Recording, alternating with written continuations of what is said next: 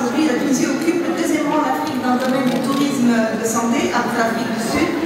Elle se place en tant que deuxième destination mondiale en thalassothérapie après la France, avec en moyenne 150 000 personnes par an qui choisissent notre pays pour un séjour dans les différents centres de thalassothérapie.